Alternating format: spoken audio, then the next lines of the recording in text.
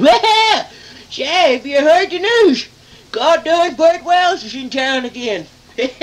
He's gonna be in Dickinson, down at Chumley's. In the following weekend, they're gonna be down at the Seabreeze.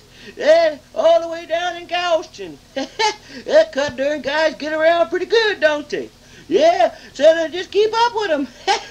they're gonna be in town more often, so come see them. Thank you for calling.